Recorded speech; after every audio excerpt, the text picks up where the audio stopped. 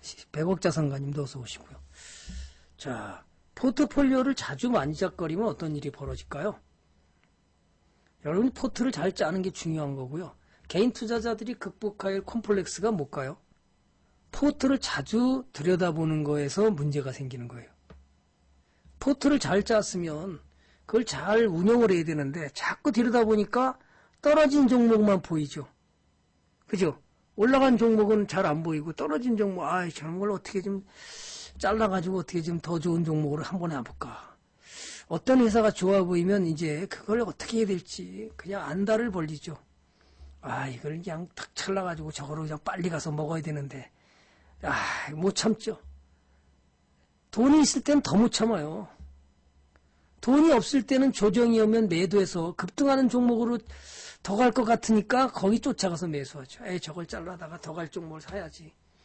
빨리 급해. 그죠?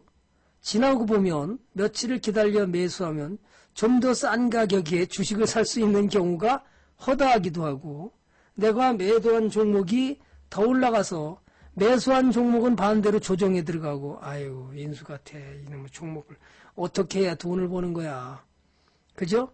그러니 여러분이 주식을 사기 전에 언제나 기본 조사를 해야 되고 매년 매출과 영업이익이 꾸준히 느는지 부채는 감소하는지 그죠? 예, 현금 흐름은 꾸준히 좋아지는지를 살펴보면서 여러분이 아 이거는 좋은 종목이네. 그러면 기다리면 좋은 일을 벌리겠네. 이래야 되는데 그렇게 못하는 거예요. 그렇게 못하는 거죠.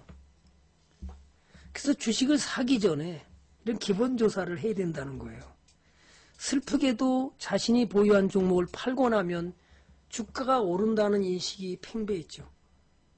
또 내가 그죠? 주가가 하락하는데도 불구하고 무슨 생각을 갖고 있죠? 아유 전문가님 내가 팔면 오를까 봐요. 그죠? 내가 팔면 오르면 어떡해요? 그죠? 부실 종목인데도 불구하고 예, 또 실적이 부진해서 떨어지는데도 불구하고 내가 팔면 오를까 봐 도저히 손이 안 나갑니다. 오를까봐 못 파는 경우가 더 많죠. 팔면 오른다는 꺼리직한 생각이 자신의 발목을 잡는 거예요. 차라리 다음 투자를 위해서 이익을 남겨두고 그냥 있으면 되는데, 그죠? 그죠? 그건 그러면 너나 해, 그거. 그 생각이 머릿속에 꽉 차 있으니까, 예, 자기가 부실 종목인지 또 실적이 나빠서 떨어지는지 조사는 안 하고, 다만 부실 종목도 꽉 붙들고 내가 팔면 오를까봐 못 팔고 있는 것이 수두룩합니다. 그 손실이 눈덩이처럼 커지죠. 업황도 가지 않고 굉장히 안 좋은데도 그걸 못 파는 거예요. 실제로 전문가님 내가 이거 사가지고 아 속이 상합니다. 왜요? 그랬더니 한없이 떨어지기만 하고 어떻게 해요? 기업은 나쁜 기업 아닌 것 같은데 왜 주가는 계속 떨어질까요? 혹시 내가 팔면 올르면 어떡하죠? 그러니까 이걸 근시안적 손실 회피라고 그러는 거예요. 주식 투자자가 주식을 못 들고 가게 만드는 이유는 위험을 감당하지 못하게 하는 요인은 뭘까요? 손실 회피와 빈번한 평가를 하는 거죠. 아유, 가만히 있어봐. 그러면 주식농부가 만약에 주식을 사서 매일 평가를 해서 떨어지면 자르고 올라가면 뭐죠? 더 들고 가고 그러나요? 최근에 종목을 보니까 참 재밌어요. 어, 그분 얘기를 해서 좀 안 됐지만 대륙 재관입니다. 10몇 프로를 들고 있죠. 어제 장대 연봉이 나왔습니다. 또 이렇게 또 떨어졌습니다. 그죠? 이분 다 팔았을까요? 못 팔았죠. 그죠? 못 팔았죠. 그런데 개인 투자자들은 이렇게 못 들고 가요. 매일 트레이더 해야 되고요. 그죠? 전문가도 트레이더가 정답인 것처럼 얘기하기도 하고. 어, 이 사람은 어떻게 그러면 2,500 자산가를 만들고 이렇게 붙들고 있을까? 이 떨어지는데 빨리 팔아야지. 그죠? 왜 안 팔까? 매일 여러분이 포트를 확인하면 주가 변동을 지켜보면서 걱정하게 되기 때문에 이를 극복하기 위해서는 여러분 해요? 시간의 지평을 길게 늘리고 결과를 확인해야 하는 빈도를 줄여가는 거예요. 자꾸 확인하니까 자르고 싶죠. 그죠? 그걸 이겨내야 되는 거예요. 그럼 이분은 어떻게 이겨냈을까? 여러분도 고민을 해보라는 거예요. 그죠? 고민해보는 것은, 포트를 보면, 조광아의 포트를 자주 많이 작거리다 보니까 기업의 가치를 믿으면 그냥 보유해도 무방한데 기업의 가치가 커지는 지만 확인하면 되는데 그거는 확인 안 하고 뭐만 하죠. 차트가 이제 더 이상 안 갈 거라고 생각해서 본인이 자르기도 하고 그죠? 또는 그럼 얘가 왜 그러나? 안 자르지 말라고 그랬어요 저는요. 어, 아직도 갔는데 네, 나쁜가요? 아직도 가는데 안 빠지는데요? 아니 시장이 폭락하는데 얘는 왜 올라가고 있냐? 그죠? 이런 것이 우리가 끊임없이 이겨낼 수 있는 힘을 가지는 것은 기업의 가치가 커지는 종목을 들고 가면 결코 여러분은 흔들릴 이유가 없다라는 거죠. 이건 뭘까요? 파트를 오늘 조정하나요? 자, 주식을 매수하기 전에 언제나 기본 조사를 하고, 그죠? 가치에 비해서 싸다면 매수하고 강력 보유하는 거죠. 주가가 100% 상승했다고 바닥 종목만 매수해서 매수했더니 그죠? 기업의 가치는 없는 종목을 매수해서 지하실로 내려가죠. 땅굴로 내려갑니다. 사보라 그러면 두려워서 떨려서 그죠? 저 밑에 있는 부실 종목을 매수해서 그것을 상한가 줄 거라고 들고 있는 경우가 수두룩합니다. 전문가 추천이라서 또는 차트가 갈 것 같아서 또는 뉴스가 좋아서 그런가요? 자, 실제로 우리 의료원이 들고 왔던 종목입니다. 한화 손해보 실적이 부진해서 여기서 매수를 했대요. 실적이 부진해서 계속해서 내려가니까 아, 전문가님 어떡해요? 아, 나는 이렇게 이렇게 올라 여기서부터 이렇게 올라가는 조금 뭐 먹어보지도 못하고 떨어뜨리기만 했습니다. 실적도 안 좋고 모멘텀이 없으니까 업황도 안 좋으니까 어떻게 계속 내리막을 가서 아픔을 겪게 되는 거죠. 아유 윈수 같은 종목 어떡하냐. 뒤집어 보면 너무 좋죠. 그죠? 뒤집어 보면 너무 좋잖아요. 이게 떨어지지만 뒤집어서 보면 진짜 올라가는 장면. 와 기가 막히다. 바닥 잡고 그죠? 바닥을 딱 바닥을 딱 잡고 올라가서 여기서부터는 정배열 만들면서 쭉 아, 너무너무 좋아. 너무너무 좋아. 바닥 필요 없어. 바닥 정배열만 먹어도 돼. 너무 좋죠. 뒤집으니까 어떻게 돼? 난 죽으러 가는 거잖아요. 나는 죽으러 가고 있습니다. 그죠? 역배열로 내려가고 있습니다. 역배열로. 그러니까 여러분이 한국전력을 사지 말라고 그랬던 거예요.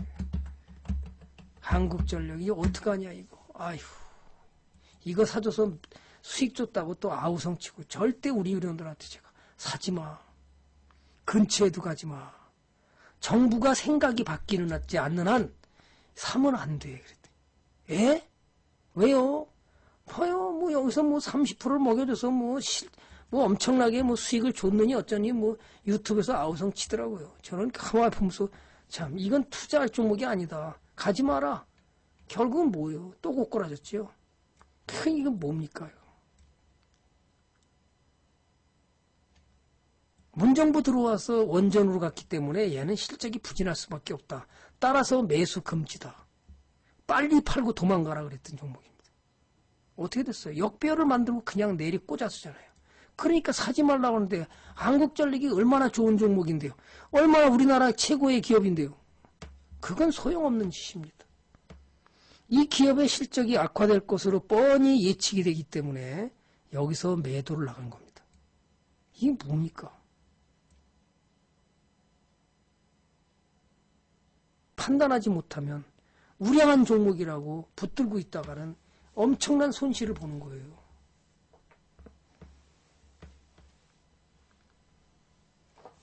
그런데 수많은 투자자들은 또 이걸 샀어요. 우량한 종목이라고. 그죠? 문 대통령의 생각이 바뀌지 않는 한 얘는 실적 부진으로 계속 갈 수밖에 없죠. 원가 절감할 수 있는 원자력 발전소가 가동되지 않는 한 얘는 원가 부담이 커지기 때문에 유가가 더 올라가면 더더욱 무섭죠. 가스값이 올라가면 화력발전소를 가스터빈으로 바꿨기 때문에 원가 부담이 더 커지죠. 그럼 태양광으로 하면 원가 절감이 될까요? 태양광도 몇 년마다 바꿔야 돼요. 최소한 10년 이내에 한 번씩 바꿔야 됩니다. 그럼 원가 부담이 엄청나게 커지는 겁니다. 시설을 다 개비해야 됩니다. 그죠? 태양광 모듈로 바꿔야 됩니다. 거기다 태양광만 해오면 다 되나요? 전기를 끌어올라면 전봇을 때 설치 안 해야 되나요? 그럼 원가 부담이 커지죠. 원가 부담이 커지니까 무슨 짓을 했어요? 내용연수를 늘려버렸죠. 2년 늘려서 어떻게 했어요? 모르겠습니다. 내용연수 늘리면 그것에 하자가 생기겠죠. 자, 그래서 한국전력은 투자할 이유가 현재는 없다. 따라서 손실을 엄청나게 크게 준다. 이 기업이 그러면 전기세를 올려야 되나요? 아마 반발이 나올 거요. 국민들의 반발이. 오늘 뉴스에 나온 거 보니까 독일에서도 원자력을 포기했다가 지금 아우성이 났습니다. 왜 아우성이 났어요? 전기세가 올라가니까 원자력은 전기세가 너무 싸거든요. 원가가 안 들어가거든요. 그죠? 그러다 보니까 독일도 지금 난리가 났어요. 원, 전기세를 계속 올리니까 제가 블로그에 올렸습니다. 우리나라 마찬가지예요. 전기세는 올릴 수밖에 없어요. 지금 적자 누적이 엄청나게 커졌는데요. 그러니까 원전 하던 거 마저 해야 되는 겁니다. 아, 우리나라 기업이 원전을 안 하면서 다른 나라에서 원전 우리가 만들어주겠다 그러면 웃기는 얘기하죠. 당신네들은 원전도 안 해서 무슨 원전을 만들어줘. 너나 잘해. 이렇게 돼버리는 거잖아요. 그래서 원가 부담이 커지기 때문에 한국전력은 여러분 사봤자 돈이 안 된다는 거예요. 그래서 매도 나갔던 거예요. 자, 또 가죠. 또 가죠. 그래서 포트폴리오를 자꾸 만지게 되면 어떤 일이 벌어지면 이런 일이 벌어지는 겁니다. 원가 부담이 커지기 때문에 한국전력은 어, 한국 한국에 대한 저 한국전력 안전 KPX 그죠? 박살나 그죠? 한전실업 한번 보시죠. 한전실업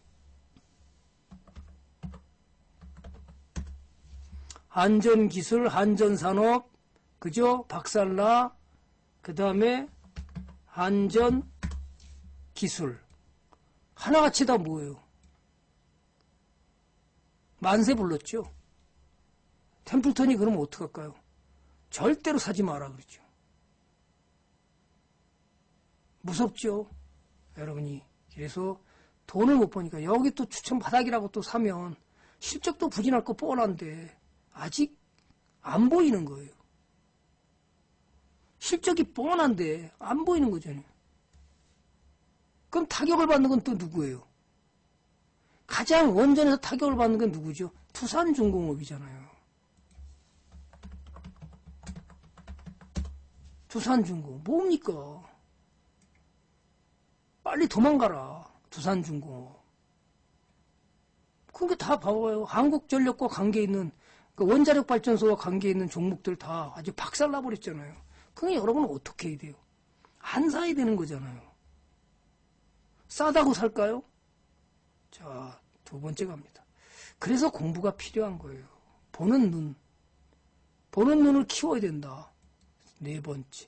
개인 투자자들이 이제 제발 정보 컴플렉스에서 벗어나세요. 아, 정보가 돈을 버는 것 같아, 정보가. 아, 정보가 없어서 돈을 못 봅니다.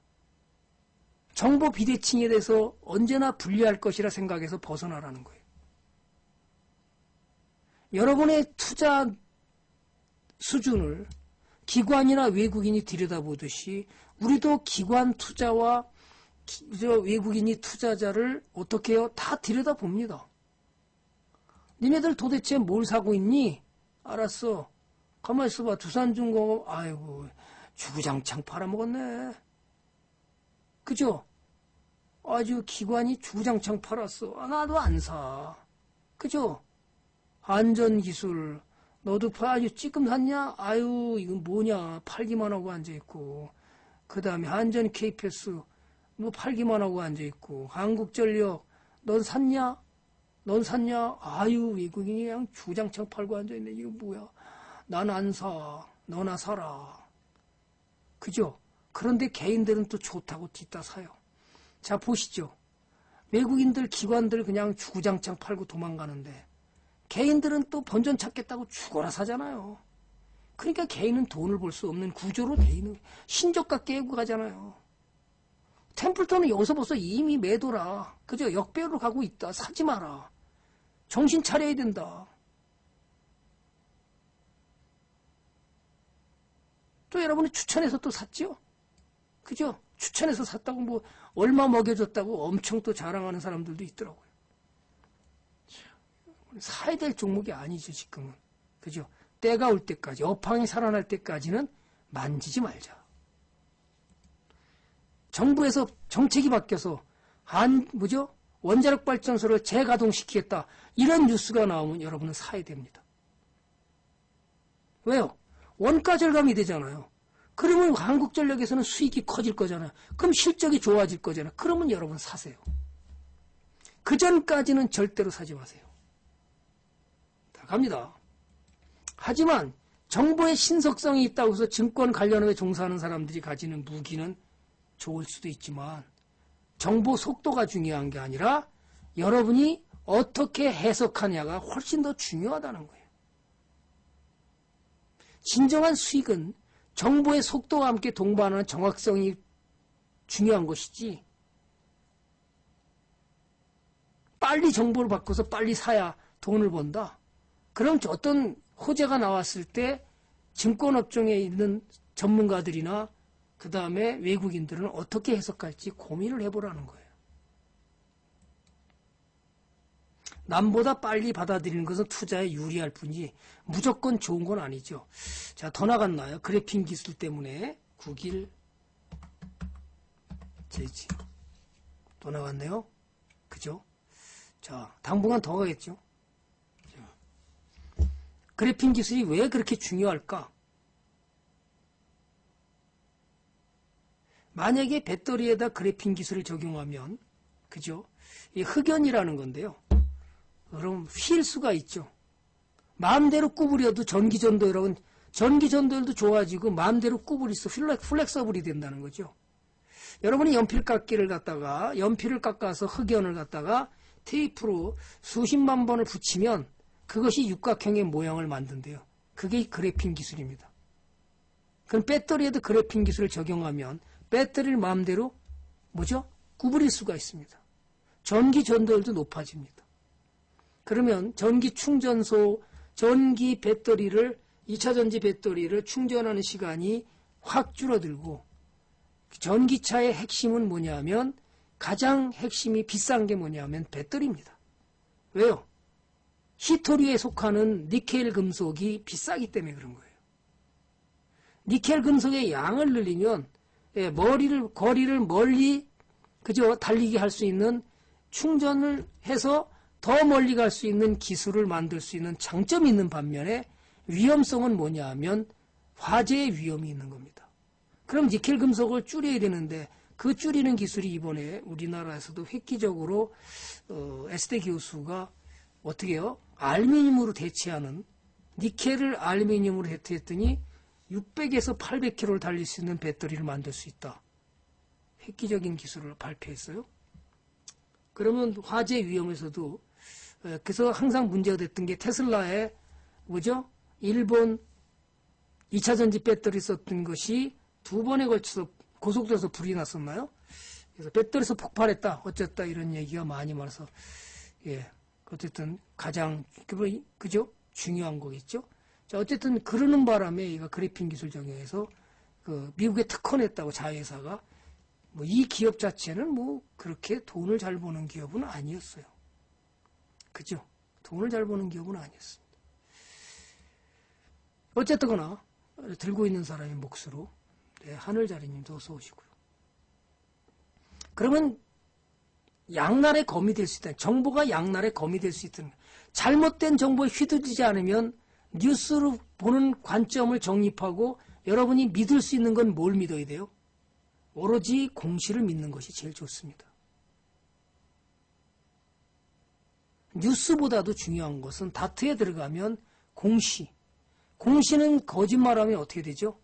그렇게 되면 기업은 징계를 먹기 때문에 당연히 공시가 여러분의 유일한 정보를 판단하는 것으로 굉장히 좋은 겁니다. 나머지는 믿지 마세요. 전문가 사이에서도 정보에 대한 해석으로 인해서 투자의 지침을 알려주지만 전혀 다른 해석을 가져올 수 있기 때문에 자신의 판단을 객관화시키려고 노력해야 된다는 거예요. 그죠? 굉장히 중요합니다.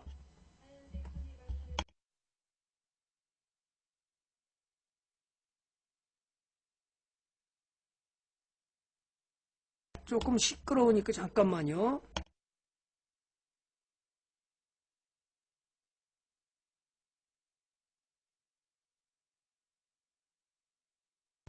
그래서 스스로 객관적인 생각으로 매입하는 주식을 판단할 수 있어야 되는 거예요. 시장 소문에 휩쓸리지 마라. 어떤 주식을 매입할 때 먼저 그 이유를 이유를 적어보는 거예요. 그럼 여러분이 뭐요? 정보 매매? 저도 정보 매매했다가 엄청나게 손실을 본 적이 있습니다. 여러분은 그거보다 더 중요한 것은 기업의 시가총액과 그죠? 이 기업의 시가총액이 지금 5,700억입니다. 이 기업의 가치가 이 정도 되나요? 이 기업의 가치는 기껏 해봤자 500억입니다. 500억이 넘는도 5,700억 정확히 뭐요? 10배가 날라간 겁니다. 자기 가치의 10배가 날라간 거예요. 그럼 어디까지 갈까요? 어, 모릅니다. 그럼 여러분이 어떻게 들고 있는 사람? 시스템 매매를 해야죠. 시스템 매매를 하는 겁니다. 얼마까지 갈지 모르니까. 자, 그래서 시, 기업의 시가총액과 기업의 가치를 비교해서 평가, 저평가해보고, 그 다음에 저평가 여부를 판단하면서 여러분이 매수해서 갈 때, 자, 이 기업의 수준이 청산가지보다 낮다면, 자기 자본이익이 꾸준히 증가하면서 저평가라면 확실히 들고 가겠지만, 고평가라면 여러분이 어떻게 돼요? 이제는 뭐 방법이 없죠. 시스템 매매하는 수밖에 없죠. 여기다가 설정해 놓는 거죠. 또 나, 또 나가 또 나가면 신고가 내면 또 올라가고 신고가 안 내면 가만히 내비두고 이렇게 해서 여러분이 시스템 매매로 최대의 수익을 가져갈 수 있는 방법을 배우는 거예요. 그걸 안 하면 여러분이 일일이 대응할 수 있을까 이거? 대응 못합니다. 그럼에도 불구하고 자신들이 사지 않아서 예? 버스가 가면 리무진은 영원히 오지 않을 거라 생각하면서 매수를 서두르다가 투자를 그르치게 되는 경우가 너무나 많아요. 정보는 여러분은 오히려 정보보다 더 중요한 것은 좋은 기업을 매수해서 강력하게 보호했을 때 기관이나 외국인을 이길 수 있는 거예요. 기관 투자자는 한 달에 한 번씩 평가를 받지만 여러분은 한 달에 한 번씩 평가받을 이유가 없어요. 여러분의 시간은 무한정입니다. 근데 왜 그렇게 급한 거죠? 기관은 한 달에 한 번씩 평가를 받지만 여러분은 무한정의 시간이 있어요. 그러면 뭐 좋은 주식 사놓고 가만히 있으면요. 시장이 폭락하고 뭐하든 갑니다. 그죠? 가요. 떨어졌다도 또 가요. 근데 부실 종목을 매수했기 때문에 문제가 되는 거예요. 거기다가 또 몰빵까지 하죠. 그러니까 망하는 거죠. 어, 진짜 그런가요? 종목을 한번 볼까요?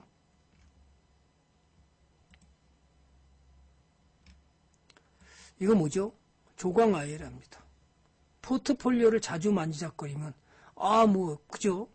어떻게 뭐 북한에 뭐 문제가 뭐 어떻게 돼서 뭐, 뭐 밸브를 만드는 회사는 뭐 어떻게 됐다 뭐 그래서 잘라야 된다 뭐 테마가 끝났으니까 잘라야 된다. 템플턴이 처음 사준 자리예요. 계속 그냥 보유하라고 그랬어요. 지금까지 보유한 사람이 있어요. 또 샀습니다. 그냥 가만히 있는 거예요. 기업의 가치를 믿고 그냥 보유해도 무방하다. 기업의 가치가 커지는지만 봐라. 그게 주가가 진짜 가지요. 어? 그래요? 예. 너는 가냐? 가냐? 그래, 나 간다. 어, 이거 왜 안 떨어지는 거야? 안 빠지는 거잖아요. 그럼 가만히 들고 가면 되죠. 가는데 왜 잘라요? 아, 못 가면 잘릴 수도 있지만 가는데 왜 잘라? 그죠? 이거 뭐예요? 파워트론. 주식을 매수하기 전에 언제나 어떻게 해요? 가치에 비해 싸다면 매수하고 강력 보유하는 거죠. 주가가 100% 상승했다고 바닥 종목만 매수하다 보면 그것이 꼭 지하실로 내려가죠. 그죠? 지하실로. 여러분 한번 생각해 보세요. 자기가 산 종목이 지하실로 내려갔다? 한번 종목 한번 채팅창에 써보시죠. 가는 놈이 더 가고 떨어지는 놈이 더 떨어지는 게 왜 그럴까요? 그게 모멘텀이에요. 왜 그런 모멘텀이 생길까요? 여러분의 마음에 달려 있는 거예요. 여러분의 마음 속에 뭘 갖고 있어요? 더 떨어질 것 같으니까 얼른 잘라버리잖아요. 올라갈 것 같으면 더 들고 가죠. 그럼 어떻게 돼요? 더 올라가겠죠. 아, 저거 더 갈 것 같아. 안 팔아. 더 더 갈 것 같아. 그런 심리가 깔려 있기 때문에 그러는 거예요. 그러니까 가는 방향으로 더 가는 거고.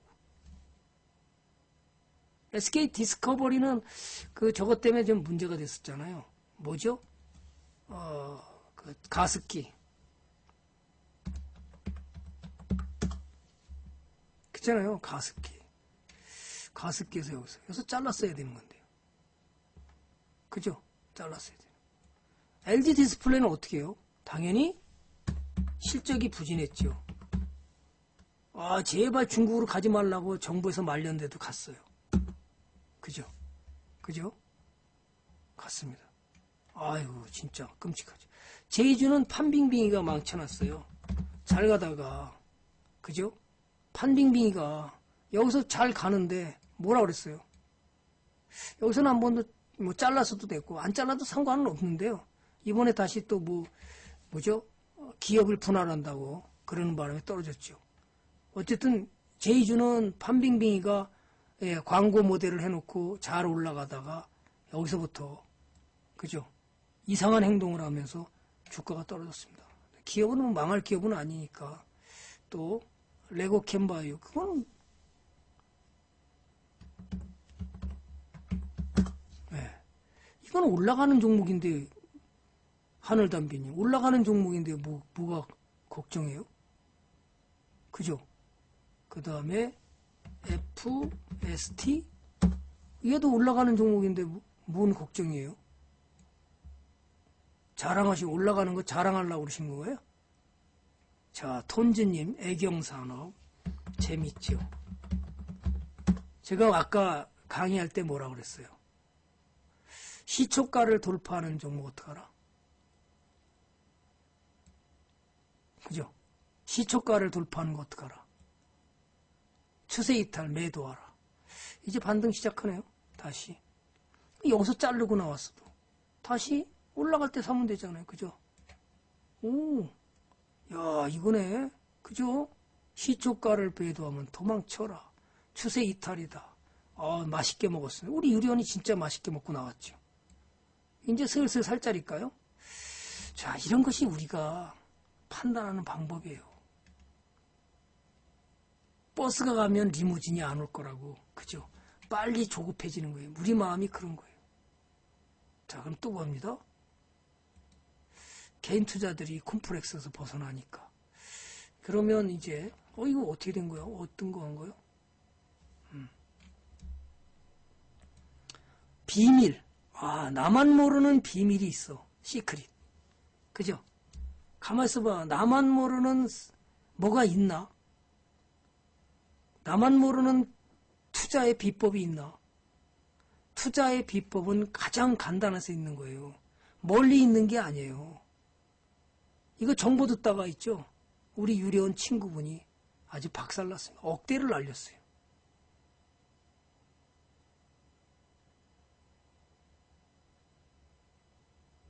억대. 왜요? 재무정보는 하나도 안 봐. 차트가 갈 것 같다고 샀어. 그거 어떻게 됐어요? 깡통 났죠.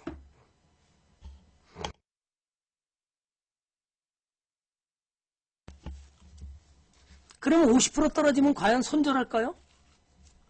자, 올라가다가 그제 50% 손실 났습니다. 나 손절할 수 있을까요? 1억을 몰빵했는데 나 손절한다. 1번. 못한다. 2번. 한번 눌러보시죠. 내가 1억을 몰빵했습니다. 근데 여기 50% 떨어졌습니다. 손절한다 1번, 못한다 2번.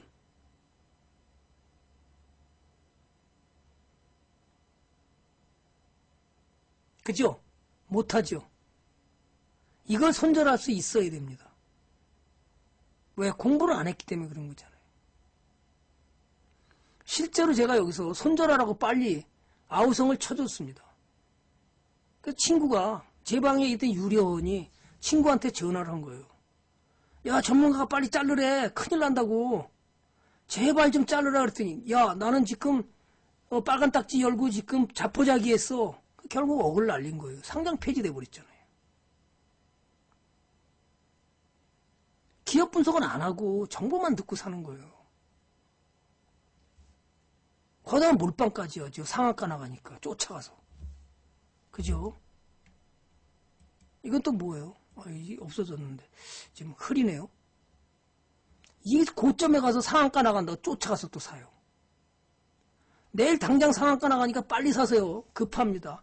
저만 아는 정보가 있습니다. 저만 아는 세 가지 정보가 있는데, 그죠? 급등 나갑니다. 중국에 엄청난 호재가 있으니까 빨리 사세요. 그게 박살난 거예요. 깡통. 이런 거에 여러분이 다 속아 넘어가면 어떻게 되는 거예요? 정보 믿고 현대상선 뭐 현정은이하고 뭐 김정은이하고 남북회담이 금강산이 다시 열리면 큰 수익에서 몰빵시켜가지고 전부 다 깡통 났어요. 한번 생각해 보자고. 제가 제 방에 3월 달에 왔는데 5천만 원 몰빵했다가 얼마요? 4천만 원 날리고 있어요. 천만 원 남았어요. 제가 손절하라 그러니까 기가 막히죠. 그걸 어떻게 손절합니까? 5천만 원 투자했는데 4천만 원이 나가는데 어떻게 손절? 난 못해요. 그러게 하시죠. 어떻게 됐나 보세요. 아, 좋은 기업이면 제가 손절 안 해도 된다고 그래요. 그런데 이게 돈도 못 버는 기업에다 어떻게 했어요? 결국 손절했어요. 자기 친구하고 상의를 해서 저한테 와서 1개월 후에 와서 인사를 하더라고요. 전문가님 고맙습니다. 그래서 왜요? 그랬더니 천만 원이라도 건졌습니다. 어떻게 됐나요? 딸 1개월 후에 감자, 5대1 감자를 했어요. 그럼 5천만 원 투자했는데 4천만 원을 잃었어요. 추천받아갖고 샀어요. 4천만 원이고 1천만 원 남는데 5대1 갔으면 얼마? 200만 원 남는 거예요. 1억을 몰빵한 사람들도 무진장 많았다고 그러더라고요. 1억을 몰빵했으면 한번 생각해 보세요. 80% 나는 게 2천만 원 남은 거예요. 2천만 원 남은 거 다시 감자 5대1 했으면 얼마 남아요? 200만 원 남는 거예요. 200만 원 주가가 또 70% 떨어졌으면 어떻게 돼요? 깡통이잖아요. 얼마나 무서운지를 모르고 무슨 뭐 정은이끼리 회담해서 뭐해서 여러분이 스토리하면 죽는 거예요.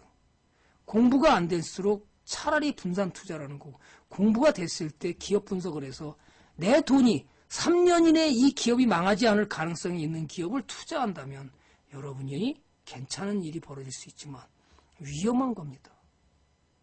안타깝죠, 저는. KNC 글로벌에서도 제가 제발 5천만 원이라도 챙겨라.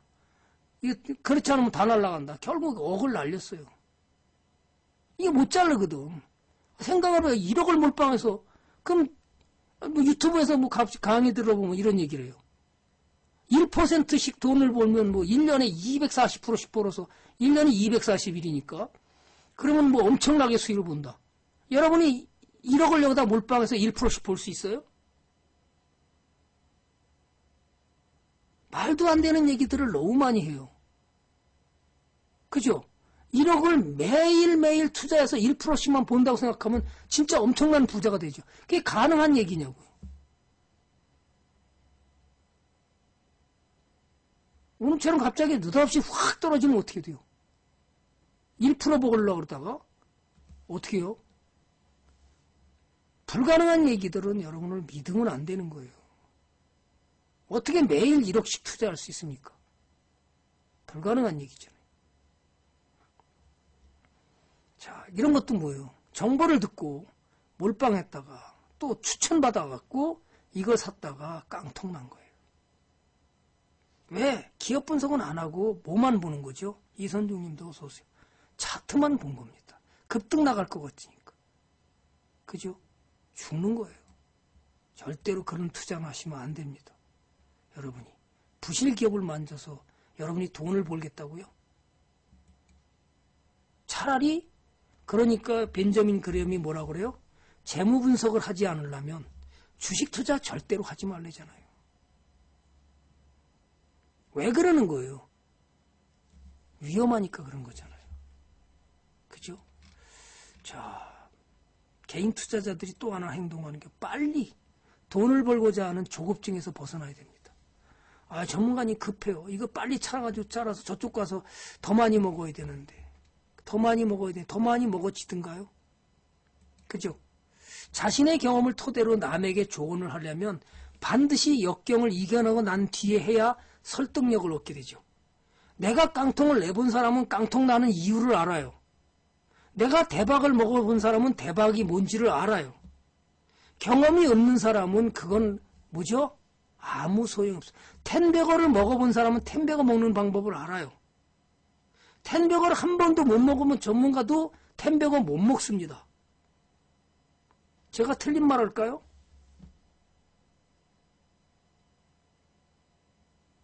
여러분이 텐베거를 먹게끔 끌고 가는 사람이 있을까요? 본인이 내보지 않은 사람은 못 들고 갑니다. 그래서 텐베거를 못 하는 거예요. 대대서 사람들은 주시장에 뛰어들었다가 거듭 쓰라린 실패를 맛보고 스스로 단념하고 과거는 얘기하지 마세요. 미래만 얘기하세요. 과거 얘기 왜 얘기합니까? 이렇게 얘기하는 사람도 있어요. 여러분이 과거에서 교훈을 얻어서 앞으로 이렇게 됐을 때 또다시 이런 일이 벌었을 때 내가 어떻게 대응하겠다. 그것을 교훈을 얻는 거잖아요. 과거가 백날 100%의 정답은 아니에요. 그죠? 굉장히 싫어합니다. 마우스 클릭 한 번으로 여러분의 돈이 이렇게 몰빵했다가 1억이 날아간다는 거예요. 얘만 그런 게 아니라 안타까운 사실은 굉장히 많아요. 그죠? 연예인이 뭐 돈 벌어준다고 거기다가 몰빵했다가 깡통 나고요. 여러분 한번 이렇게 생각해 보자고요. 완생님도 어서 오시고요. 이렇게 한번 생각해 보자고요. 여러분이 사업을 한다고 생각해 보자고요. 장사를 한다고 생각해 보자고요. 그러면 장사하는 사람들은 돈을 벌기 위해서 목숨 걸고 해죠. 처음부터 장사하는데 돈을 벌 수 있습니까? 광고비 나가지, 그 다음에 이거 손님들이 와야 되는데 안 오면 어떡하지, 이걸 끊임없이 연구하고 또 광고를 어떻게 해서 손님들을 끌어들일까, 끊임없이 고생해서 돈이 쌓이는 거죠. 그죠? 주식도 마찬가지예요. 여러분이 열심히 공부하는 사람일수록 수익이 커지는 거예요. 공부를 적게 하는 사람일수록 수익이 절로 커지질 않아요. 제가 지금까지 유료원들을 보면 공부하는 사람들이 역시 수익이 더 좋아요. 그냥 추천주만 받는 사람보다 확실히 낫습니다. 그것은 장사도 똑같잖아요. 근데 주시장에 와서는 여러분이 절대로 공부할 생각을 안 하죠. 그러지 말고 무료 추천주나 주세요. 아, 시끄러우니까 그런 얘기 하지 말라니까요. 그냥 무료 추천주 주세요. 무료 추천주. 대원산업. 그죠? 아, 좋아요. 대원산업. 시장이 하락하는데 얜 가네. 여기서 무료 추천주. 괜찮죠? 들고 가시죠. 어, 괜찮아요? 네. 그렇잖아요. 괜찮아요. 자, 그 다음에. 그러면,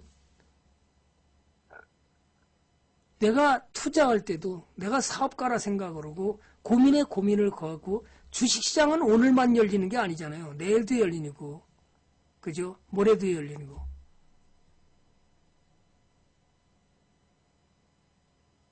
빨리 여러분이 주시장에 들어간다고 돈을 빨리 버는 건가요? 계획을 세우면서 천천히 분할 매수를 하는 게 좋습니다. 완생님, 아니 사는 걸 왜 물어봐? 그렇죠? 사는 걸 왜 물어봐? 그래서 안 사는 겁니다, 이거. 왜 사야 되는 거예요? 완생님이 사야 될 이유, 이유를 한번 써보세요. 그러면 제가 답변을 해드릴게요. 재미삼아 매매를 한다면 차라리 카지노에 가는 게 낫고, 그죠? 감정에 휘둘리지 않으면 평생 평정심을 유지하는 게 중요하죠. 매매에 대한 열정이 있는지를 확인하고 자신이 정말 매매를 하고 있는지 남이 하니까 나도 따라 하는 건지 고민을 하라는 거예요. 아, 자신감을 잃었습니다.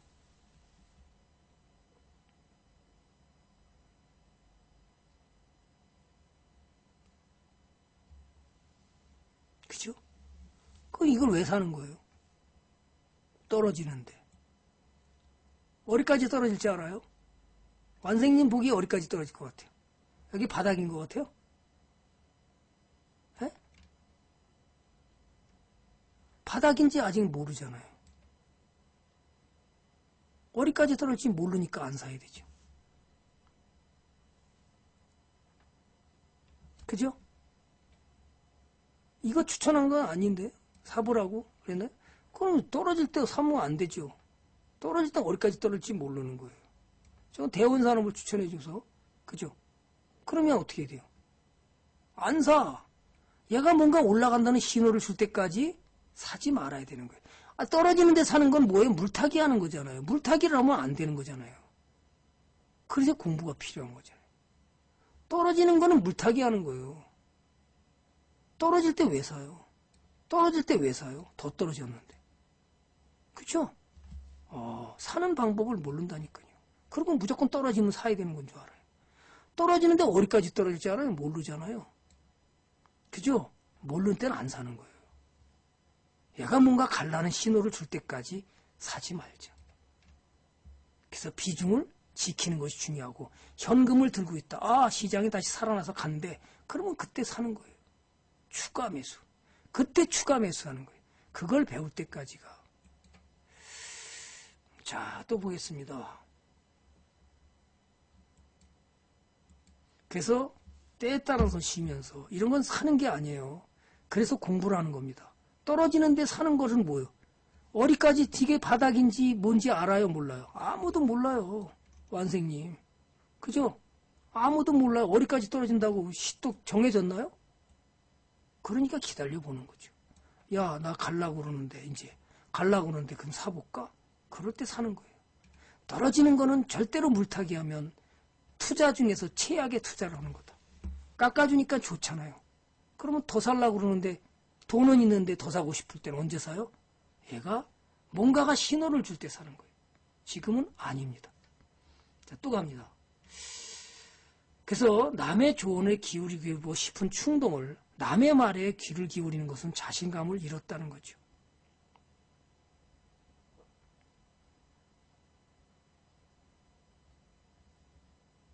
아, 이거, 어, 저것 때문에 그랬구나. 비메모리 반도체, 그죠? 네. 자, 떨어질 때 사지 마세요. 올라가려고 그럴 때 사세요. 지금은 사는 거 아닙니다. 자, 그 다음에, 그러면 어떤 일을 벌렸는지 보자.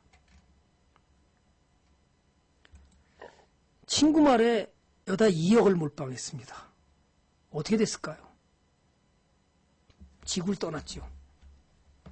절대로 친구에게 부자를 만들고 싶으면 부실 종목을 추천하면 됩니다. 그럼 빨리 부자가 되나요? 가난하게 되나요? 내가 주식을 잘 이해하지 못하면 친구한테 절대로 조언하지 않아야 돼요. 조언하면 안 됩니다. 이해가시나요? 내가 잘 모르는데 친구한테 아 이거 좋아 어쩌고 저쩌고 내가 좀 아는데 그런 얘기도 하지 말고 친구한테 절대로 권해서는 안 되는 거예요. 얼마나 무서운 시장인 걸 알면 함부로 친구한테 주식 사라는 얘기 하지 마세요. 내가 충분하게 고수가 됐을 때 친구한테 조언, 물어보면 조언을 할 수 있지만 아는 척 한다고 여러분이 그죠? 어떤 분은 친구 따라서 친구가 산 종목을 같이 딱같이 산 사람이 있어. 그리고 부자 된대. 그건 안 되는 거잖아요. 그죠? 부실이를 스토리 마케팅으로 해서 어떻게 되는 거예요? 친구를 살리는 길인가요? 망하는 길일까요? 친구를 망하게 만들었죠. 위험합니다. 또 KD건설입니다. 급등 먹겠다고 이거 먹겠다고 들어가서 싸다는 이유. 아유 99원 쌉니다. 99원 싸니까 가서 매수했다가 아주 코피 터지는 거죠. 그죠? 500원짜리 주식 샀더니 뭐요? 99원까지 떨어졌어요. 부실기업이잖아요. 정지당하잖아요. 그렇죠. 부실 기업을 사지 말라는 거예요. 자, 한미 반도체를 사고 싶으면, 그죠? 중장기로 봐야 되잖아요. 왜요? 삼성전자가 무려 얼마? 133조를 투자했으면 지금 당장 기업에 수익을 엄청나게 줄까요? 아니잖아요. 기다려야 되잖아요. 그러니까 천천히 분할 매수로 가려는 거예요. 급할 이유가 없어요. 수혜를 받을 때는 시간이 걸리잖아요. 그러면 어떻게 해요? 천천히 분할 매수로 가는 거예요. 뭐가 급할 거 뭐가 있어요? 그 기업이 망할 기업이 아니라면 천천히 아 올라가는 신호를 주네 시장이 살아나나 보네 그때쯤 슬슬 참 매수를 좀 가담해 볼까 이렇게 가야 되는 거예요. 그걸 안 배우니까 그죠? 그냥 당장 뭐가 왕창 일어날 거라 생각해서 돈 갖다가 몰빵시키고 그거는 안 되는 거예요. 아, 좋은 기업을 분할 매수로 천천히 가면서 자, 이 좋은 일이 벌어지겠구나. 에, 그죠? 삼성전자가 비메모리 반체 133조를 왕창 투자하니까 그러니까 아, 천천히 사야 돼. 분할 매수로 천천히 사서 따라가 보자. 올라갈 때마다 따라가 보자. 그렇게 해야 여러분이 수익이 나지는 거고 편안한 투자가 되고 기업이 망하지 않을 기업을 투자했으니까 내 돈을 뺏어가지 않고 행복한 투자를 하고 사놓고 나서 아 저축해놨는데 뭐 아무 일도 없어 저 기업은 얼마나 좋아요. 그것이 여러분이 행복한 투자를 할 수 있는 거예요. 시장이 폭락한다고 그 기업이 망하든가요? 아니잖아요. 자, 꾸준히 상승하는 기업을 매수했더니 오늘 어떻게 된지 모르겠는데 정말 잘 가네요. 네, 모르겠습니다. 코리아 오토글라스.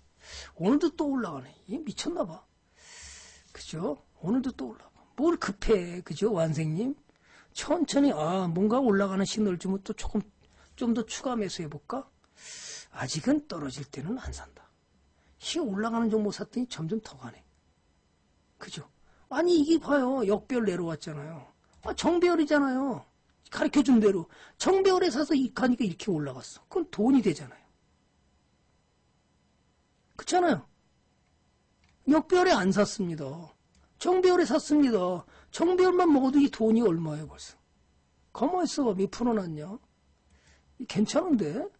그죠? 이렇게 56%네. 어우. 아니 뭐 단기로 뭐몇 프로 먹고 5% 먹고 7% 먹고 잘랐나요? 아직도 들고 있는데 이게 여러분이 투자해야 될 일이에요. 뭐 어렵게 생각해요. 돈을 꾸준히 기업이 커지는 기업에 기업의 가치가 커지는 기업에 매수해서 들고 갔더니 진짜 커지더라. 그죠? 이건 뭐요?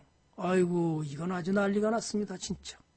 300%가 나가더만 2016년 10월 달에 매수 추천하면서 계속해서 사기만 하라. 이게 지금 어떻게 된 건지 몰라요. 에?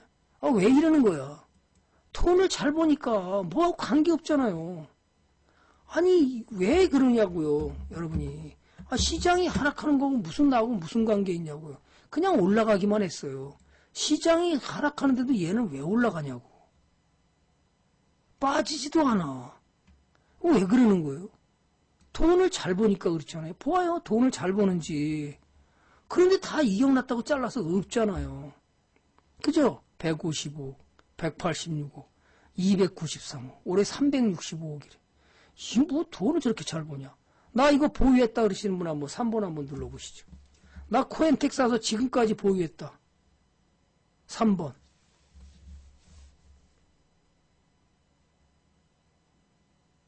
아무도 없나요?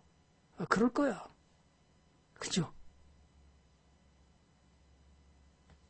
어떻게 이렇게 갔냐? 그죠? 시장은 떨어지는데 어떻게 얘는 안 떨어지고 가기만 할까? 이게 뭔 일이야? 이게 뭐예요? 기업이 돈을 벌기 때문에 그런 거지. 차트로 갔다고 뭐 실적이 주가에 이미 반영돼서 안 간다고요? 조금 어디까지 간다고 어떻게 알아요? 그럼 어떻게 해요? 들고 가야죠. 그래서 주가는 어떻게 해야 된다? 주가를 사지 말고 때를 사려는 거예요. 왜? 주식 투자의 가장 목적은 투자 차익이죠. 최대 차익을 넣기 위해서는 우리가 사는 시점과 파는 시점 선택도 중요하지만 주가를 사서 주식을 사는 게 아니 주가를 사는 주식을 사는 게 아니라 기업을 사서 어떻게 해요? 꾸준히 들고 갔을 때 대박이 나는 거잖아요.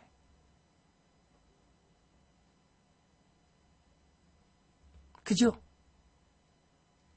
그저 그냥 빨리 급해서 뭐 타이밍에 그냥 미쳐가지고 그저 사람들이 좋은 중물 사서 저렇게 들고 가면 아무 일도 없고 뭐 시장이 폭락하네 어쩌네 뭐 그래도 그냥 가 그저 그냥 가지요 그 종목 선택하는 일이 쉽나요? 어렵죠 29%요? 우동훈이?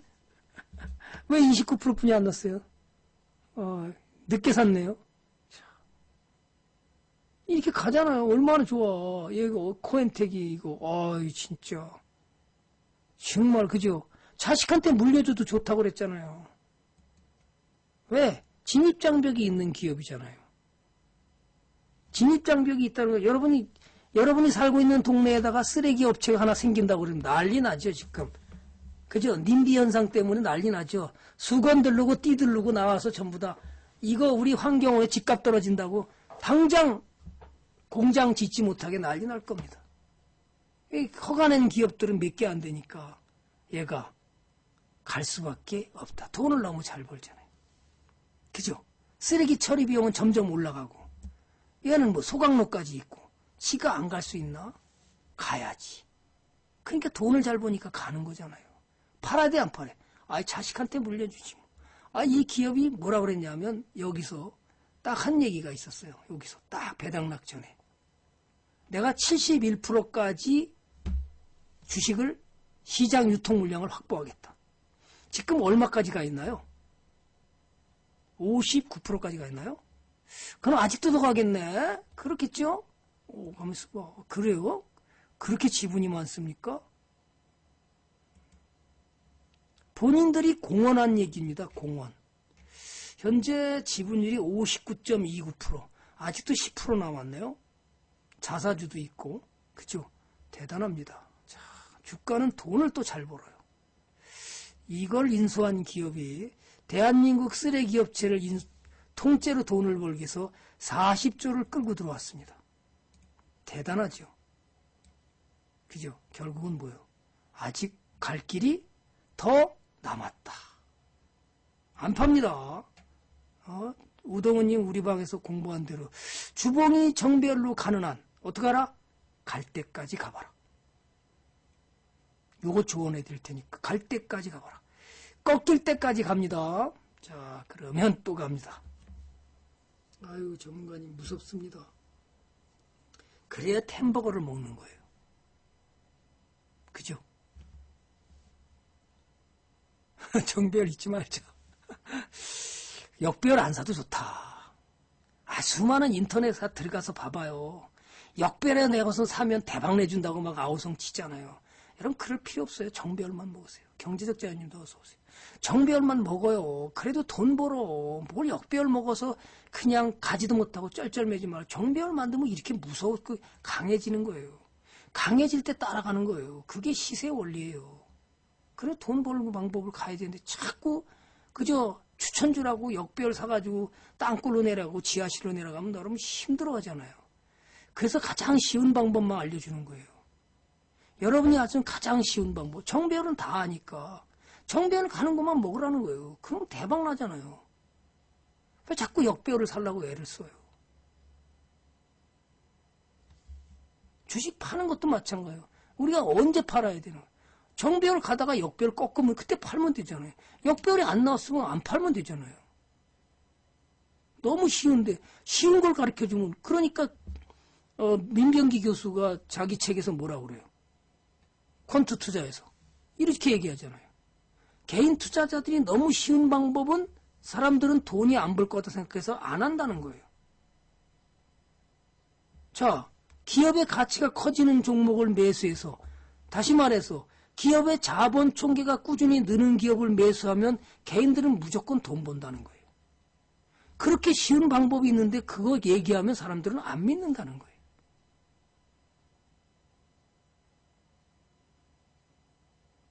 말도 안 돼. 그죠? 그래도 오늘도 비법을 찾아서 여기저기서 헤매고 다니는 거예요.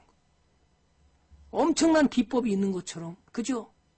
전문가만이 알고 있는 새로운 비법이 있는 것처럼 생각하지 말고, 그냥 쉽게 돈 버는 기업에 동업하면 이기는 거예요. 돈을 못 버는 기업에 차트로 사기 때문에 망하는 거죠. 뭐이 그렇게 쉬워요? 예. 쉬운 거예요. 그런데 여러분이 안 간다고 다 잘라버리고 그 다음에 손실 났다고 또 손절해버리고 10% 손절, 뭐 3% 손절, 뭐 8%의 손절 누구 좋으라고 손절하는 거예요? 증권사 좋으라고 손절하는 거잖아요.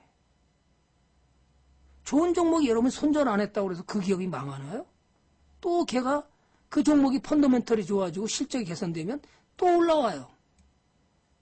언제 그랬냐는 뜻이. 부실 종목은 어디가요? 감자 아니면 상장 폐지로 가지만. 걔는 이렇게 떨어졌다 또 올라갑니다. 그러니까 나는 또 돈 벌어주는 거예요. 그럼 여러분이 그만큼 고통만 참으면 되는 거잖아요. 너무 쉽다. 너무 쉬운 거 사람들은 어렵게 새로운 답이 있는 것처럼 쫓아다니는 거죠. 공짜 점심은 없다라는 생각을 상기하자. 쇠고기 등심을 사는 것처럼 주식을 사라. 크리스토 브라운이 크리스토퍼 브라운이 가치 투자의 비밀에서 뭐라 그러냐면 쇠고기 등심을 사는 것처럼 주식을 사래요. 쇠고기나 청바지를 살 때는 세일 기간을 찾아다니면서 가장 가격이 쌀 때 쇼핑을 한다. 그런데 주식을 살 때는 박의 세일 기간을 마다하고 기다렸다가 가장 비쌀 때 뛰어드는 사람이 너무나 많다. 그죠? 본질적으로 거래하는 측면에서 보면 주식이나 쇠고기나 다를 것이 없어요. 벤저민 그레이엄과 워런 버핏은 고객으로 두었던 유일한 회사 트위디 브라운의 펀드 매니저인 크리스토 브라운은 뭐라고 그러냐면 할인하는 쇠고기를 싸게 사는 가격으로 좋은 고기를 맛볼 수 있듯이 주식도 할인할 때 사야 더 큰 이익을 볼 수 있다. 다 알고 있어요. 말로는. 그러나 안 돼요. 왜? 돈을 풀베팅해서 없거든. 돈을 풀베팅해서 얻거든. 주식이 조정하네. 내가 좋은 종목이네. 저로에 살 기회가 왔는데 돈이 없어. 그러니까 사볼 수 있는 돈이 없으니까 싸게 깎아줘도 못 사는 거예요. 그래서 현금 비중을 지키라는 것이 뭐예요? 이럴 때 살 수 있는 돈이 있다는 것은 여러분한테 큰 매력이죠. 그래서 우량한 현금은 우량한 종목이라는 얘기를 하는 거예요. 머리로는 아는데 전문가님 머리로는 알겠어요. 근데 가슴이 그렇게 못하게 만들어요. 그죠? 추세를 미리 잡는다는 건 좋은 일이긴 해요. 그러나 주가가 본격적인 상승을 시작한 이후에 매수를 해도 늦지 않다는 거예요. 자, 역배열에서, 역배열에서 여러분 한번 해보세요. 역배열 샀습니다. 저점 잡았으니 바닥을 잡았으니까 매수했습니다. 돈을 많이 벌었나요? 여러분이 돈을 많이 벌고 적게 버는 것은 얼마나 들고 가느냐 못 들고 가느냐 차이지 역배열에 샀든 정배를 샀든 문제가 안 된다는 거예요. 제가 또 이렇게 정배열 얘기하면 또 엄청난 비난이 다가와요. 다른 전문가들한테서. 말도 안 되는 얘기 하지 마라. 역배열을 사야 된다. 그래야 돈을 많이 먹습니다. 이렇게 얘기하겠죠. 그죠? 그럼 왜 템플턴은 역배열을 하지 말고 정배열을 사라고 그럴까요? 왜 그럴까요? 정배열 하면 주가는 힘이 굉장히 강해지는 거예요. 모멘텀에 따라서 굉장히 세지는 거예요. 그러니까 역별 구체에 안 사도, 그죠? 안 사도 여러분이 충분히 먹을 수 있는데 역별이 갈 때까지 들고 가면 되는데 못 들고 간다니까요. 제가 이렇게 얘기하면 대번에 진짜 예? 비난이 돌아올 수 있어요. 말도 안 되는 이론이라고 또 그죠? 신랄한 비난이 올 수 있죠. 여러분이 이기는 길, 쉬운 길을 가려는 거예요. 바닥 잡았다고 쌍바닥 잡았다고 역배열에서 샀더니 더 떨어지더라. 그죠? 그러니까 여러분이 어떤 종목이든 정배열에서 힘이 강해지는 거예요. 그러면 정배열 초기 단계 여러분이 왜 한꺼번에 사지 말고 분할 매수로 가면서 가져가면 수익을 깔면서 추가 매수해서 가면 여러분이 수익이 커지는 너무 쉬운 방법을 얘기하니까 그 의심이 되는 거고, 그죠? 또 그렇게 안 하는 또 사람들은 있는 사람들은 여러분 또 제 얘기를 또 뒤집어 버리려고 그러고, 다 뒤집어 버리려고 그러죠. 여러분은 어떤 걸 들을 것인지 여러분의 기준을 여러분의 원칙을 만들어서 가면 이기는 거예요. 그죠? 그러니까 공부하라는 거예요. 공부하시면 돼요. 자, 초보 투자자 행동에서 우리는 벗어나는 방법이 뭘까? 디지털 대성도 추천해서 지금 아직도 가고 있죠. 그래서 동업자 정신으로 가면 좋은 일이 벌어진다. 그럼 초보 투자 행동에서 벗어나는 건 뭘까? 초보 투자자들은 투자 실패한 뒤 운이 없어서 또 지인의 탓, 남 탓으로 다, 다 돌려버리죠. 전문가가 나빠서. 물론 전문가들도 나쁜 사람도 있죠. 템플턴은 전문가지만 굉장히 부담스러운 겁니다. 왜요? 혹시라도 여러분들한테 예? 오보를 전하는 게 아닐까. 저로 인해서 손실을 많이 보면 가슴이 아프잖아요. 제 솔직한 마음이에요. 그죠? 저는 회비를 받아서 돈을 챙기지만 여러분들이 잘못 부실한 종목을 매수하기 위해서 돈을 잃게 되면 마음 그죠? 좋은 종목을 매수해서 고통을 참고 갖고 갈 수 있는 힘이 있어야 되는데 그것도 못하게 될 때 여러분들이 힘들어하면 결국 뭐죠? 템플턴 전문가도 책임이 있는 거잖아요. 그러니까 굉장히 어려운 거예요. 전문가 자리가 얼마나 어려운 건가요? 올바른 방향으로 가게 만들어서 여러분이 다 돈을 벌 수만 있다면 얼마나 좋은 거예요. 그죠? 그런데 그로 인해서 손실을 봤다 그러면 저도 결코 마음이 편치가 않죠. 그러니까 저는 철두철미하게 여러분들한테 부실 종목을 만지지 못하게 하는 거예요. 부실 종목으로 상한가를 먹었다고 자랑하지만 또 다른 부실 종목을 샀을 때 상장 폐지되거나 감자를 대면 손실이 엄청나기 때문에 아예 사지를 못하게 막는 겁니다. 다행히 잘 먹으면 괜찮지만 못 먹은 사람들하고 감자를 당하고 상장 폐지되면 그걸 어떻게 감당이 되나요? 개인 투자자들은 전문가 몰래 또 왕창 몰빵하거나 그죠? 저거 돈이 보인다고 자기도 모르게 몰래 왕창 삽니다. 그러면 정말 그걸 이겨내지를 못하면서 질러버립니다. 그러면 아픔을 당하잖아요. 그러면 어떻게 돼요? 전문가가 미워질 수밖에 없죠. 그건 어느 전문가도 마찬가지입니다. 그러니까 여러분은 최소한도 내가 감당할 수 있을 양만 매수하라는 거예요. 내가 좋은 종목을 매수했는데 50%가 떨어져도 내가 들고 갈 수 있는 능력이 된다면 기업이 망하지 않을 기업을 매수한다면 반드시 걔는 다시 수익을 줍니다. 그렇게 투자하려면 몰라도 내가 몰래 왕창 사가지고 떼돈을 벌어보겠다고 욕심낸다고 돈을 버는 거 아닙니다. 신신당부하고 싶어요. 처음부터 부실 종목은 상한가를 좋아해서 매수할 생각하지 말라는 거예요. 여러분이 개인 큰손, 80년대 개인 큰손에 저는 개인적으로 만난 적은 없지만 백할머니라는 사람이 주식을 사서 돈을 벌 때까지 들고 갑니다. 여러분들은 어떻게? 당장 10% 빠지면 손절하려고 그래요. 아, 손절하려면 왜 샀어요? 안 사면 되잖아요. 좋은 종목 샀으면 그러면 내가 좋은 종목인지를 반드시 분석을 해야 되잖아요. 그죠? 근데 분석을 안 한다니까요. 배웠는데도 분석 안 해요. 얘가 좀 이상이 있다. 그러면 어떻게 내가? 아, 이거 여기까지는 잘라야 되겠다. 아니면 더 들고 가야 되겠다. 기업을 믿고 한번 더 들고 가보지. 여러분이 이렇게 하면 너무 편안한 거예요. 왜요? 저축했는데, 아, 은행에다 저축했는데 이자 빨리 안 준다고 해약할까요? 좋은 주식을 사놨는데 주가가 떨어진다고 당장 잘라버릴까요? 안 해도 돼요. 그 중에 이제 개별적으로 제가 이렇게, 아, 그러면 더 많이 먹으려면 정배열에 갈 때 매수해서 역배로 꺾일 때 잘라라.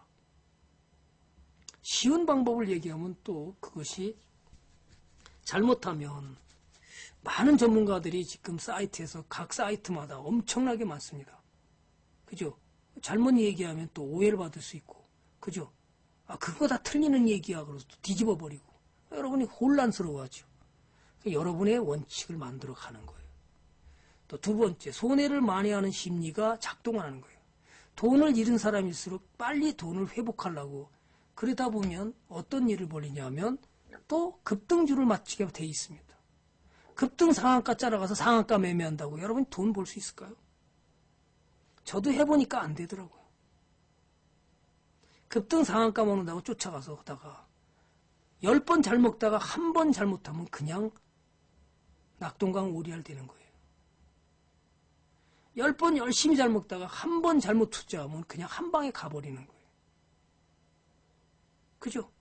10년을 따라다니면서 전문가를 따라다녔는데, 그죠? 현대상선을 몰빵하라고 그래서 몰빵했다고 어떻게 됐어요?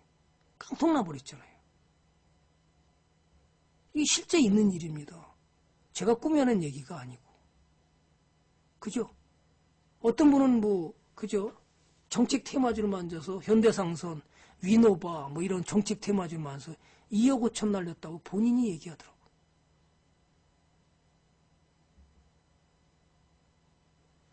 세 번째, 그동안의 실패를 반성하고 새로운 성공을 다짐한다. 서점에 들러서 책이라도 하나 더 읽고, 그죠? 투자 정보를 습- 습득해야 여러분이 템플턴이 올바로 가르치고 있는지, 또 다른 전문가 여러분한테 올바로 종목을 추천해 주는지 금방 알 수 있어요. 그렇지 못하다면 역시 여러분은 영원히 전문가의 굴레에서 벗어나지 못하는 그런 사람이 되는 거죠. 공부하면 할수록 여러분이 올바로 가는 길을 이해하게 되는 거죠. 자, 그러면 손해를 보고 주식장을 다 떠나지만 그러고 나서는 어떻게 단계요? 바뀌죠, 사람은. 아이고, 주식하지 마. 주식하면 내가 도시락 싸들고 다녀서 말릴게. 주식은 망하는 거야. 전문가도 그렇게 얘기하는 사람도 있어요. 사석에서. 주식하면 돈 못 번다. 주식하지 마라. 이런 사람들도 있어요. 그럼 뭐 어떻게 된 거예요? 그죠?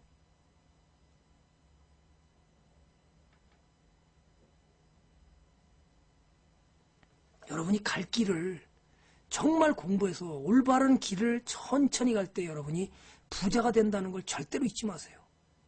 그죠? 한 번 제대로 배운 투자는 여러분의 평생 투자를 올바른 길로 인도해 주는 거잖아요. 시장은 절망해서 부주한 투자가 좀처럼 용서해 주지 않고 여러분의 돈을 다 뺏어가는 거예요. 그러니까 현명한 투자자가 현명하지 못한 투자자의 돈을 다 뺏어가는 장이 어떤 장이에요? 바로 시장이라는 거예요. 그렇게 무서운 거예요. 근데 개인들은 그런 생각을 안 하고 유난히 좋아하는 주식, 자신이 고는 희망을 걸고 행운이 찾아오기를 비는 경우가 너무 많다는 거예요. 자, 지금까지 제가 종목 중에서 보면 어떤 종목들이 자 한번 시장하고 관계없이 자 코엔텍이 왜 이렇게 갈 수밖에 없었냐? 갈 수밖에 없었냐? 뭐 실적은 볼 필요 없다? 실적이 좋아지니까 얘가 나간 거죠. 자, 휠라 코리아가 왜 이렇게 나갔어요? 장난 아닙니다. 돈 버는 게. 예? 돈 버는 게 장난 아니에요. 이 휠라 코리아가 왜 이렇게 나가는지 한번 생각을 해봐요. 여러분 부실 종목 왜 부실 종목 사놓고 이 가는 종목이 왜 이렇게 무섭게 나가냐? 코엔텍이 나가고 제가 나가 또 이런 종목 에코 마케팅 이런 종목이 왜 지장이 떨어지는데도 얘는 계속 가냐는 거예요. 돈을 잘 벌기 때문에 가는 거예요. 정말입니까? 예. 돈이 68억, 79억, 169억, 올해가 316억 본데 주가가 어떻게요? 그냥 꾸준히 올라가잖아요. 정말 무섭잖아요. 근데 돈을 잘 벌기 때문에 가는 거지 돈을 못 벌어서 봐요. 대번에 곤두박질 쳐버리죠. 삼성전자가 돈 못 번다고 그러니까 대번에 어떻게 돼요? 대번에 곤두박질 쳐버리잖아요. 어떤 전문가는 그죠? 어, 개인 큰 손이죠. 전문가가 아니라 개인 큰 손이 50대 1을 하니까 뭐 2천억을 투자했다는 얘기가 들려요. 50대 1 액면 분할하니까 여기다가 얼마? 2천억. 손실이 너무 커졌다. 템플턴은 여기다 기념으로만 사라 그랬습니다. 50대 1 액면 분할 딱 나오자마자 기념으로만 사라. 주식 투자하지 마라. 삼성전에 납품하는 기업을 사라 그랬습니다. 거꾸로. 자, 이 해석의 차이가 얼마나 가져오는지 천지 차이가 나는 거예요. 초보 투자자들은 행동에서 벗어나야 돼. 못 벗어났죠. 상한가 좋아하다가 연예인이 돈 벌어준다고 여기다가 8천만 원 투자한 사람이 있었습니다. 어떻게 됐을까요, 지금? 코피 터졌습니다. 제 방에 진단만 오고 나갔어요. 빨리 나오시죠. 그랬더니 너무 많이 손실이 커져갖고 8천만 원 투자했고 5천만 원 잃었대요. 그럼 이게 8천만 원 손절할 수 있을까요? 못하지. 괜히 그 돈도 못 버는 기업에다 갖다 그냥 있는 대로 갖다 몰빵해버리는 거지. 그죠? 이것도 뭐예요? 유명 연예인이 뭐 보타바이오. 이 카테가 유명하죠, 보타바이오. 뭐, 누가, 그죠? 광고해주고, 그죠? 남편은 작전 세력 벌리고, 결국은 날려버린 종목이잖아요. 큰 집에 가버리고. 본인은 다 팔고 나오고. 이게 뭐예요, 다? 여러분이 기업 분석을 안 하니까 사게 되는 거예요. 그죠? 작전으로 먹튀 종목했죠. 개인 투자도 이렇게 됩니다. 제이 스테판 또 뭐 상 나간다고 뒤에서 추천 나가면 여러분이 또 갔다가 그냥 깡통으로 가버리고. 참, 무섭습니다. 이걸 먹겠다고 또 상 나간다고 먹겠다고 뒤에서 자꾸 추천 나가면 어떻게 되는 거예요? 깡통으로 가는 지름길이에요. 실제로 그랬습니다. 실제로. 참, 이놈 걸 바라보고 자꾸 뒤에서 추천 나가면 어떻게 돼요? 한두 종목이 아니야. 이런 걸 보면. 아휴. 여러분 이렇게 해서 돈못 법니다. 그래서 자신만의 투자 원칙이 있어야 되는 거예요. 재밌죠? 뭐예요? 난 전 그저 원칙대로 살아갈 뿐입니다. 원칙대로 살아갔더니 돈을 벌었대요. 에드윈 르페부르가 예, 어느 주식 투자자의 회상에서 돈 버는 이유를 물어보니까 어떻게 돈 벌었습니까? 그랬더니 좋은 주식을 그저 들고 있었을 뿐입니다. 여러분이 좋은 주식을 그냥 들고만 있어도 돈을 번다는 거예요. 물론 거기에는 좀 어폐가 있죠. 왜냐하면 주도주로 써먹은 종목을 그냥 들고 있으면 아주 박살납니다. 우리 실제 유료원이 있었던 일을 보면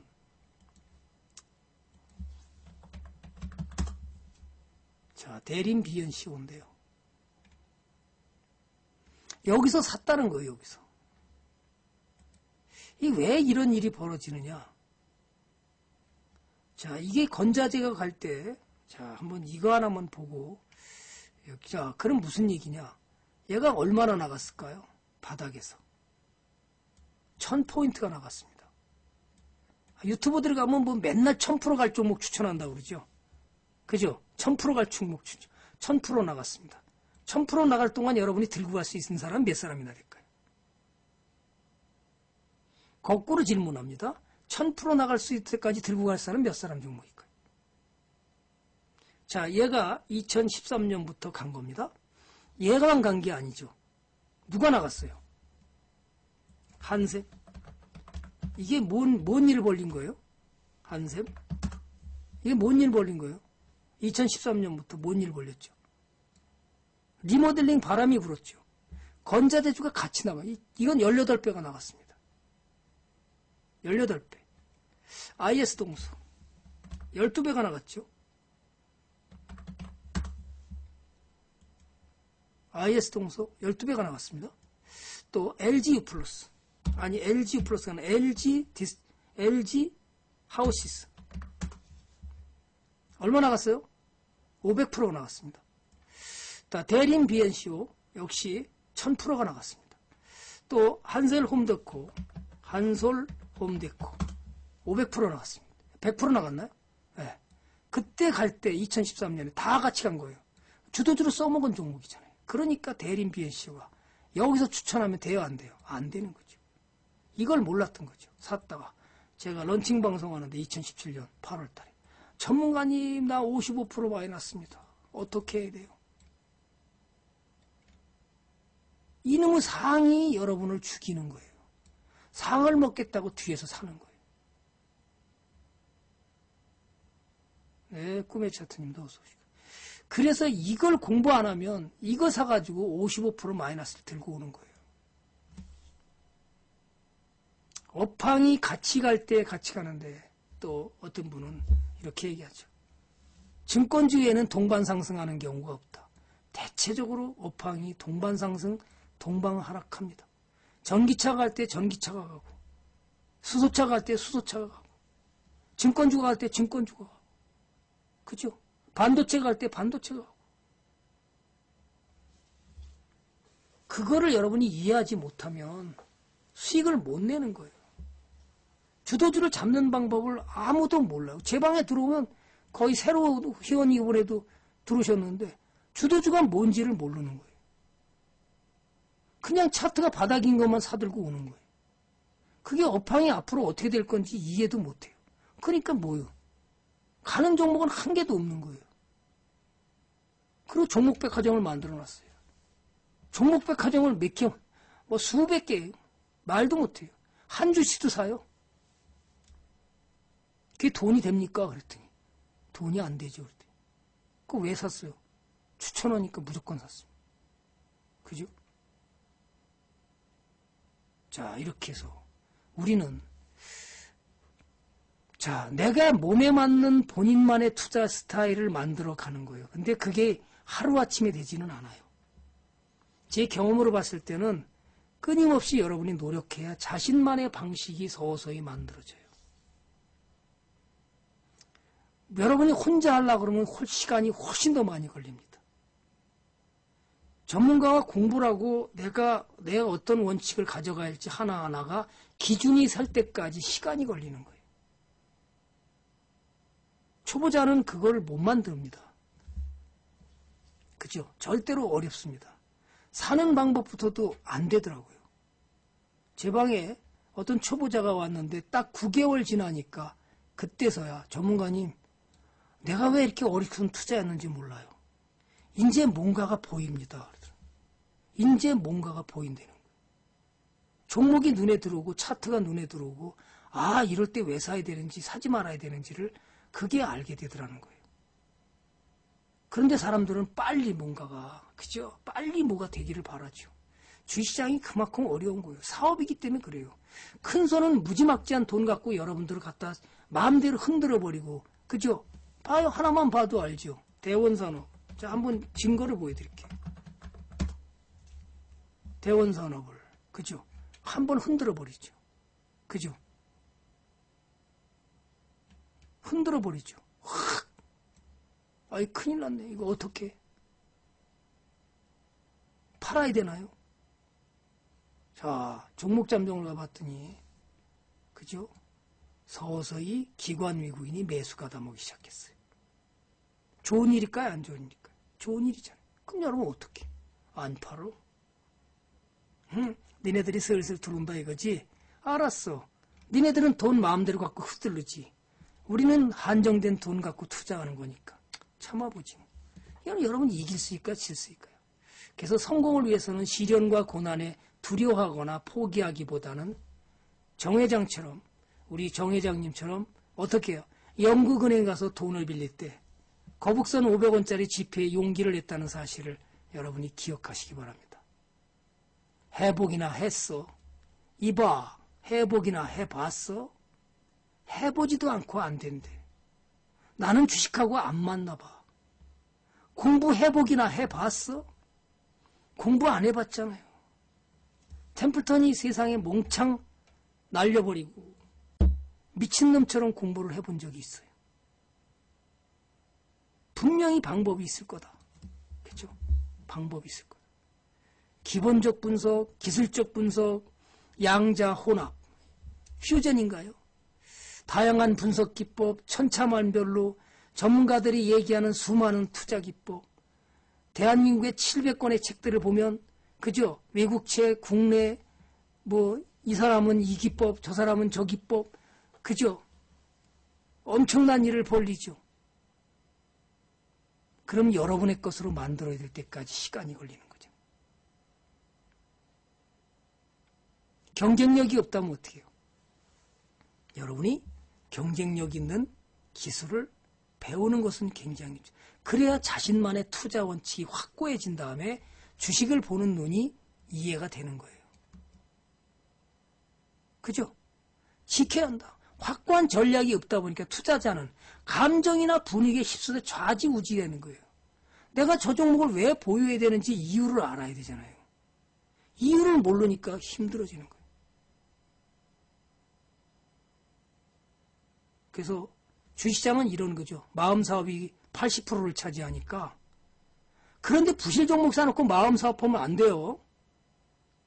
왜? 좋은 종목 사고도 마음 사업이 어려운데 부실 종목을 사놓고 마음 사업을 하면 여러분 깡통으로 가는 지름길이죠. 그러니까 남을 이기려는 사람은 반드시 먼저 자신을 이기라고 그러죠. 남을 논하는 자는 반드시 자신부터 논해야 된다고 그래요.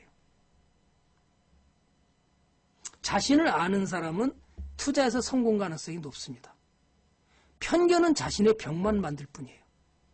그러니까 여러분은 어떻게 해야 돼요? 편견을 줄이기 위해서 자신의 벽을 뛰어넘어야 되죠. 그렇게 해서는 어떻게 돼요? 나가 주식 투자의 초보자라면 내가 하고 있는 행동이 모두가 시장에서 보는 큰 손이 행동하고는 반대로 가고 있는 거죠. 그죠? 반대로 가고 있는 거잖아요. 그럼 여러분은 어떻게 해야 돼요? 아, 내가 알고 있는 기법, 내가 배우고 있는 것을 다 뒤집어야 되는구나. 그래서 안 되는 기법, 모르는 기법이 오히려 여러분한테는 정답이 될수 가능성이 높죠. 초보자일수록 그렇습니다. 여러분이 주, 식에 대해서 왕초보를 하면 지금까지 하고 있는 방법을 뒤집으면 오히려 쉬운 정답을 찾을 수가 있어요. 자, 그러면 같이 종목 진단 해 보면서 아, 그래서 종목을 봤나요? 자, 잘못된 습관을 버리고 자신만의 투자 원칙을 세워라. 초보 투자일수록 매매의 기본 툴이 없다. 사는 방법과 파는 방법도 모른다. 가치의 기본은 가치가 고평가 시에 매도해야 되는데 매수가에 매몰되는 거예요. 여러분이 가만히 한번 보세요. 주가가 올라가서 너무 많이 올라갔습니다. 그 다음에 셀트론이 너무 많이 올라갔습니다. 그건 판단하지 않고 뭐만 하죠?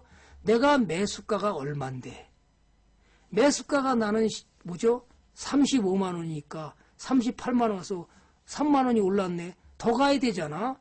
그렇게 생각하는 것이 바로 매수가에 매몰된다는 거예요. 기업의 가치가 얼마나 고평가된지를 판단할 수 있다면 나는 오히려 그때 잘라야 되는데 자르지 못한다는 거죠. 그것이 공부가 안 됐기 때문에 그러는 거예요. 그죠? 자, 이것도 마찬가지입니다. 시초가를 시작하면서 올라갔습니다. 상한가를 갔습니다. 그럼 이건 잘라야 될 자리거든요. 가는 종목에 갑자기 왜 상한가가 나옵니까? 위험한 자리잖아요. 잘라야 됨에도 못 팔았죠. 여기 와서 4만 5천 원에 제가 진단하면서 빨리 잘라야 됩니다. 하하하 떨어지니까 잘라야 된다 그랬더니 나는 본전이래요. 본전이니까 괜찮대요. 이거 어떻게 됐어요? 죽었죠. 몇 년 동안.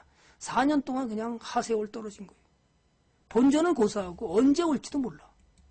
그죠? 언제 본전이 올지도 몰라. 수두룩해요.